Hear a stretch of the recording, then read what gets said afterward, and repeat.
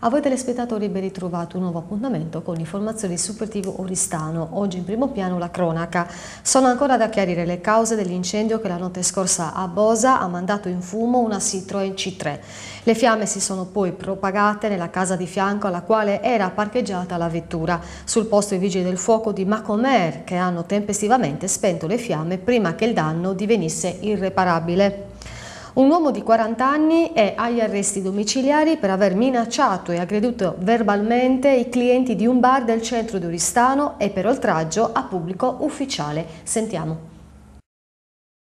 Nella serata di giovedì 27 giugno, gli operatori delle volanti della questura di Oristano hanno tratto in arresto un quarantenne per i reati di resistenza, oltraggio e minacce a pubblico ufficiale. L'uomo era stato segnalato al 113 dal proprietario di un bar del centro città perché, dopo aver abusato di sostanze alcoliche ed essendo in evidente stato di alterazione, aveva minacciato e aggredito verbalmente gli avventori del locale. Gli agenti avevano tentato di calmare il soggetto e identificarlo, ma le sue condizioni erano ormai fuori controllo. Accompagnato negli uffici della questura, visto il protrarsi degli atteggiamenti aggressivi e minacciosi nei confronti degli agenti, l'uomo è stato arrestato. Nel primo pomeriggio di venerdì 28 giugno è stato processato per direttissima e sottoposto all'obbligo di dimora nel territorio del comune di Oristano. Un probabile ordigno bellico è stato ritrovato da un bagnante nei fondali della Marina di San Veromilis. La Capitaneria di Porto sta effettuando i dovuti accertamenti. Sentiamo. La telefonata di un privato cittadino avvenuta domenica 30 giugno alla Capitaneria di Porto ha scatenato subito un'allerta più che giustificata. A circa due metri e mezzo di profondità e a 30 metri dalla riva, nella località denominata Samarigosa nelle acque della marina di San Veromilis, sarebbe presente un ordigno bellico.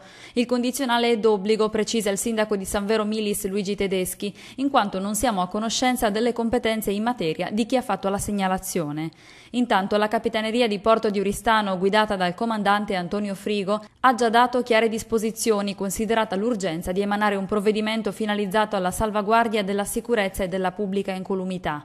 Fino ad avvenuta abrogazione all'interno dello specchio acqueo interessato dal ritrovamento, entro un raggio di 300 metri è vietato navigare, ancorare e sostare con qualunque unità sia da diporto che ad uso professionale.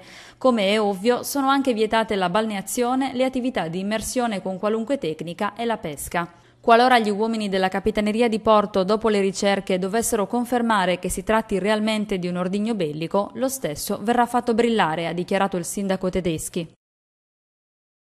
Voltiamo pagina. Mercoledì 3 luglio alle ore 9.30 nell'Episcopio di Ales, Monsignor Roberto Carboni, arcivescovo eletto di Oristano e amministratore apostolico di Ales Terralba, incontrerà i giornalisti della carta stampata, della radio, della televisione, delle testate online. Domenica 7 luglio farà l'ingresso ufficiale nella cattedrale dell'Arcidiocesi di Oristano, di cui il 4 maggio è stato nominato arcivescovo da Papa Francesco.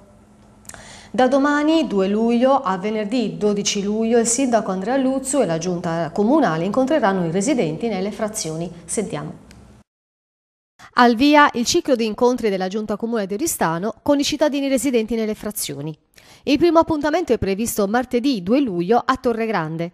La riunione si terrà come consuetudine nei locali della ex scuola elementare. Sarà l'occasione per fare il punto della situazione della borgata marina già nel vivo della stagione turistica e per individuare le priorità del prossimo futuro. Quello di Torre Grande è solo il primo degli incontri pianificati che porterà il sindaco Luzzo, accompagnato da esponenti dell'amministrazione e consiglieri comunali, a visitare come da programma le frazioni e le borgate.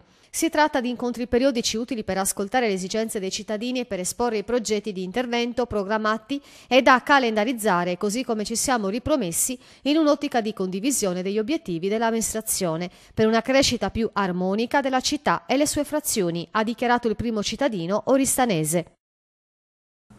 La nuova fondazione Oristano inizia il suo lavoro fra Mugugni e Assensi non convinti. Sentiamo.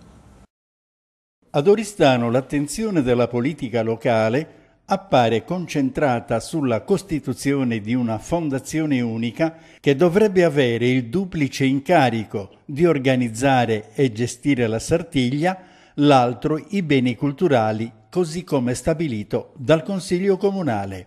Proposta approvata a maggioranza, con molti mugugni e assensi non convinti.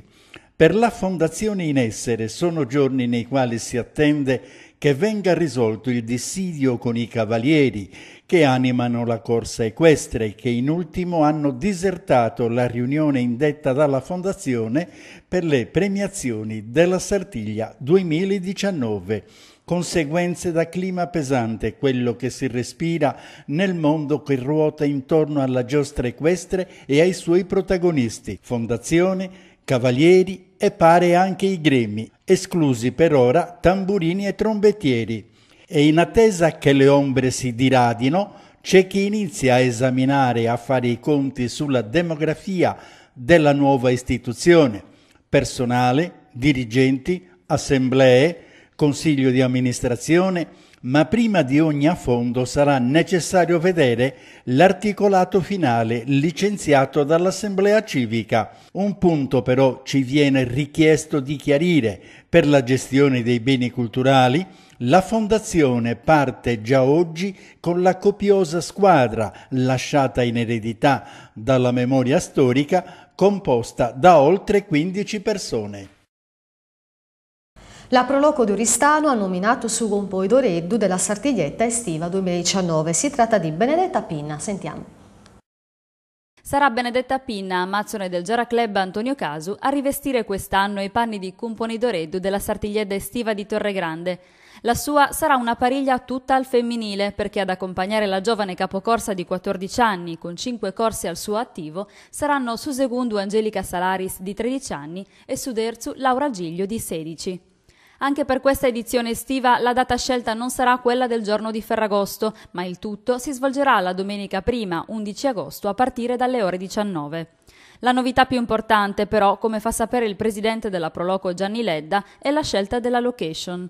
Non più nel tratto finale del lungomare, ma sulla parte sabbiosa al termine della strada asfaltata, utilizzando quindi la parte naturale di sterrato e con un'ampia tribuna a disposizione di coloro che vorranno gustarsi lo spettacolo, offerto dall'abilità dei mini cavalieri partecipanti, con un misto di tradizione e di vetrina turistica. Due le associazioni che vi prenderanno parte. Oltre al Giara Club Antonio Casu, diretto da Andrea Manias, ci saranno i mini cavalieri del Giara Oristanese, coordinati da Antonio Madeddu. La colonna sonora sarà, come sempre, scandita dai mini tamburini e trombettieri della Proloco di Oristano. Per la vestizione dei Sugumponi d'Oreddu, anche quest'anno, è stata incaricata di istruire le Massaieddas Cheti Fiori, già Massaiamanna in più edizioni di Sartiglia. Voltiamo pagina. Anche l'amministrazione comunale di San Vero Minis, anticipando l'approvazione del regolamento comunale per la vivibilità urbana e per la qualità della vita, dice stop al fumo sulle spiagge dal primo luglio. Sentiamo i dettagli. Sono sempre più molteplici le ordinanze di enti amministrativi sardi volte a fronteggiare l'inquinamento da plastica e non solo.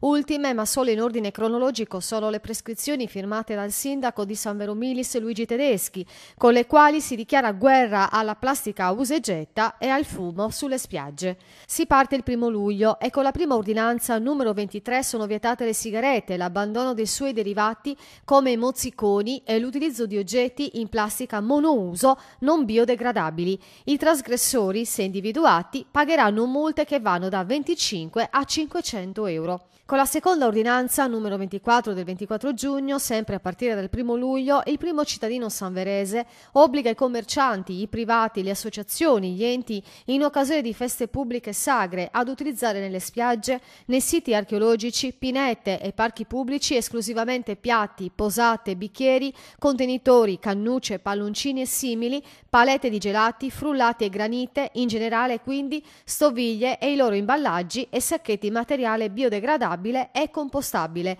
Anche in questo caso le sanzioni sono le stesse, da 25 a 500 euro. La decisione è stata presa in virtù della vocazione turistica del piccolo comune dell'Oristanese, legata alle bellezze naturalistiche e per contribuire in questo modo attivamente alla riduzione dei troppi rifiuti che inquinano l'ambiente e si riversano in mare sugli arenili, con gravissimi danni per l'ecosistema.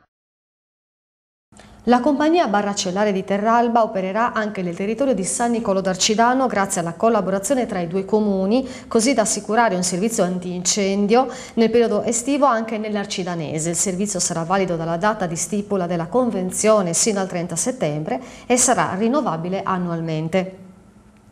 Da oggi 1 luglio fino a sabato 31 agosto l'ASL di Oristano ha attivato la guardia media turistica in tre delle località turistiche di maggiore afflusso della costa oristanese, Torre Grande, Puzzuidu e Santa Caterina di Pittinuri. Negli ambulatori attivi tutti i giorni dalle ore 8 alle ore 20 sarà garantita l'assistenza sanitaria di base alle persone non residenti, in particolare ai turisti e ai lavoratori stagionali. E ora passiamo a parlare di cultura. Savina Dolores Massa ha presentato a Oristano il suo nuovo libro. Sentiamo. Savina Dolores Massa esce con una nuova opera e quindi un nuovo titolo, A un garofono fuggito dato il mio nome, edito dalla casa editrice Il Maestrale e presentato in una riuscita serata culturale al Centro Unla di Oristano. Con la scrittrice hanno dialogato il direttore del centro Marcello Marras e Anna Maria Capraro che ha presentato e percorso la trama del libro che Savina ha ambientato ad Oristano, narrando e descrivendo i luoghi dell'infanzia così come sono stati vissuti a contatto con persone protagoniste di storie proprie che Savina narra come in un racconto che coinvolge. Non è una favola, ma la descrizione delle sensazioni che sconfinano in un quotidiano vissuto dai protagonisti che si ritrovano nelle pagine di un libro che si lascia leggere e qui sta uno dei segreti della narrativa. L'opera si trova presso la libreria Mondadori di Piazza Manno. Domani, martedì 2 luglio, ore 21, al Centro Servizi Culturali Ulla di Oristano, presentazione del documentario Muri di Francesco Conversano e Nene Grignafini. Sarà presente il regista Francesco Conversano. Domani, sempre 2 luglio, alle 19 in piazza Zuni a Cabras, l'associazione Libriamoci presenta Aperitivo con l'autore. Antonio Caria parlerà del suo nuovo libro Il faro delle menzogne. L'ingresso è libero. Una mostra che riunisce i lavori di donne tessitrici omaggiando Grazia Deledda e Maria Lai. Sentiamo. Andando via, omaggio a Grazia Deledda e il filo conduttore con le opere di Maria Lai ad animare sino al 7 luglio la sala del Monte Granatico di Zediani, una operazione ideata dall'operatrice culturale Giuditta Sireus di Villa Cidro che riunisce i lavori di 23 tessitrici di altrettanti paesi e comunità. In pratica i manufatti realizzati riproducono le opere che Maria Lai ha inciso e lasciato nei pressi della chiesa della solitudine di Nuoro dove riposano le spoglie del premio Nobel. Per questo si chiama esposizione monumentale e con l'autrice a presentarla i sindaci di Zediani Claudio Pinna e di Galtellì Giovanni Santoporco e il presidente della Proloco Antonello Zireddo. Interessanti le testimonianze delle tessitrici presenti Mariangela Cubadda di Zediani e di Arianna Pintus di Tratalias. E ora passiamo a parlare di sport. È stata la Russia ad aggiudicarsi il primo posto al Sardegna Volleyball Challenge 2019. La Russia vince il secondo Sardegna Volleyball Challenge e lancia la sfida per i campionati europei di categoria in programma nelle prossime settimane in Italia e Croazia. Domenica mattina al Palatarros di Oristano, nella finale del torneo internazionale di pallavolo giovanile Under 16 femminile, organizzato dalla Gimland, la Russia ha superato 3-1 la Slovenia. In campo si sono ritrovate le due formazioni migliori e a conti fatti alla fine ha vinto anche la squadra più forte, quella più dotata fisicamente e tecnicamente. E non è un caso se il premio per la miglior giocatrice è andato proprio a una russa, la schiacciatrice Arina Fedorosteva. Sin dai primi minuti ha fatto capire che partita sarebbe stata. Sotto di 2 set a 1, la Slovenia ha cercato di rientrare in partita nel quarto set, ma è riuscita solo a stare nella scia delle avversarie, cedendo nel finale e chiudendo sotto di 6 lunghezze per 25 a 19. Il Sardegna Volleyball Challenge, inserito nel calendario ufficiale di Oristano Città Europea dello Sport, si chiude con grande soddisfazione degli organizzatori e degli amministratori comunali. Con Russia e Slovenia in campo per la finale, oggi Oristano è stata davvero città europea dello sport, hanno detto il sindaco Andrea Luzzu e l'assessore allo sport Francesco Pinna. È stata una grande festa di sport, ottima dal punto di vista tecnico, impeccabile per l'organizzazione e importante per il ritorno economico ed immagine per la città e il territorio. Prima che un successo sportivo è stata una vittoria per l'intera città, ha aggiunto il presidente della Gimland Roberto Porcheddu. Risolvere e superare problemi complessi che spesso incidono sul futuro di un'azienda attraverso strumenti innovativi quale il cosiddetto design thinking, un modello progettuale sviluppato in team. È l'obiettivo del prossimo laboratorio digitale promosso dal punto impresa digitale della Camera di Commercio di Oristano, in programma venerdì 5 luglio dalle ore 10 alle ore 13 nella sede camerale di Via Carducci. I partecipanti saranno in grado di identificare i fattori di miglioramento e cambiamento organizzativo, collaborare nella conduzione e nel miglioramento dei processi e soprattutto sviluppare un nuovo approccio mentale e comportamentale. Le imprese o le persone interessate possono iscriversi al laboratorio gratuito compilando il modulo disponibile sul sito internet camerale all'indirizzo www.org camcom.it e questa è l'ultima notizia del nostro appuntamento con l'informazione. Vi ricordo che potete contattarci all'indirizzo redazione chiocciolasupertvristano.it sulla nostra pagina Facebook. Grazie stati con noi, buon proseguimento.